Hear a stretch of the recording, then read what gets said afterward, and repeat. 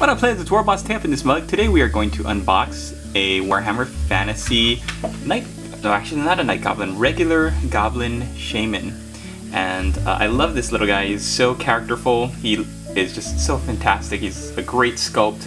And uh, I love that he's in such a cool non-action pose. It's rare to see a good non-action pose from a GW sculpt this is one of them. So the first thing right off the bat you'll notice when you're in the store looking at these figures is that this little clamshell is I think probably the cheapest any single character figure that I've seen in Games Workshop in a long time. And I don't know if it's because my local retail shop priced these guys that low or if it's just a sign of the times, but I am like pretty amazed by how how relatively less expensive this guy was from other clamshells, uh, characters, single figures, and stuff. So let's take a look at the painted model and what it's supposed to look like. You've got a skull at the top of the staff with uh, what looks to be like a little red ruby or gem in the eye. You've got the great looking wolf tail, brown fading into a white, and what looks to be like a chicken claw. Can you believe that? And on the other side, a little moon icon. And then you've got the goblin himself. He's got a red top knot and I love the paint job. This is the exact same way that I would paint my goblins with a little bit of a fleshy tone to the lips and the nose to kind of um, give him a little bit of a break. I, I, remember all of my old goblins I painted originally because goblins and orcs and goblins were my first army. I painted them all very cartoony and green and like bright green and you can kind of tell from looking at these guys that their skin tone kind of fades into like a bone or a white color. Look at the brow, the eyebrow and the ridge uh, at the top of the ears, and you can see that it, the green fades into a white rather than, uh, or a bone white rather than like a yellow, which is uh, how I learned to paint orcs and goblins way back in the day. So you also notice it on the knuckles of his hand and his toes. They fade into a white highlight, and I, I love that. Uh, I love the, the how they did the nose and the lips with the kind of uh, flesh tone, pink flesh tone, and I love how he's stirring a skull full of soup or mushroom fungus. So fantastic, great. While I get the frame ready, I'm just going to state that this is a July Painting Challenge appreciation video for Feralstryke. My boy Feralstryke has been doing this for three years now, I believe. Three years. This was his third year. He is one of the hallowed veterans of the July Painting Challenge, and I, I love every single project he does. They're all orcs and goblins related from the ones that I've seen so far. His July Painting Challenge videos are all about orcs and goblins, and um, he is a master of creating an awesome themed fluffy list. So check him out. He's great. His orcs and goblins hail from the Badlands, and that's where their area of operations is. So a very characterful, very fluffy army, and um, this video is to celebrate him. Also because he did this model, I believe.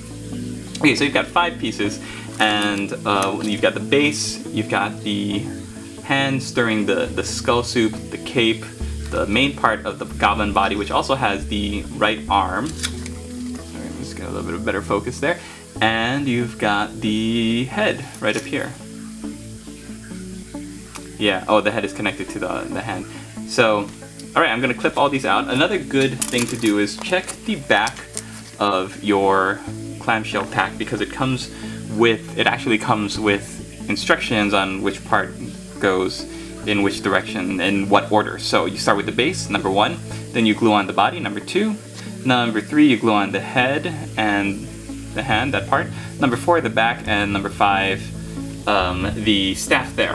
And that is just so that I, th I think if you look back at my unboxing in old one, Osiris old one, or yeah, Old Blood, I'm sorry, it was called an Old Blood, he uh, came together all wonky, his tail was all done wrong because I didn't follow the order. And even with Lewis, Lewis, where are you? Lewis, wake up. Ah, I was sleeping, dreaming of sexy Asians and Latina women.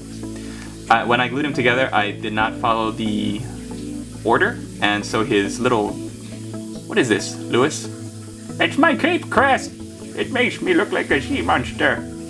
I um, didn't glue it when I should have, so I had to really finagle to get it. And you can even see it's still kind of crooked on the left side by the head. It's like this little, this little spine there is hanging down too low because I couldn't get it around because I'd already put the staff in a simple uh, a simple mistake which would have been easily rectified had I read the back of the clamshell. I like it tilted. It's because I represent the west side. Alright, so I'm going to build this guy up using the instructions that GW provided, and we will show you what the finished model looks like in just a second. And there he is, our finished, built up, ready for paint Night Goblin, or I keep saying Night Goblin, Goblin Shaman. Uh, I love how he put together really easily. It made uh, perfect sense. All the glue points were really well positioned, and the uh, mold line was very easily hidden because there's one really bad mold line along the shoulder and behind the collar, and it is almost completely hidden by the cape there that goes down the back. So fantastic job, great, great sculpt, Games Workshop designers. And uh, I love this little guy. He is fantastic. He's terrific. I think every Orcs and Goblins collector should get one just to put in their collection.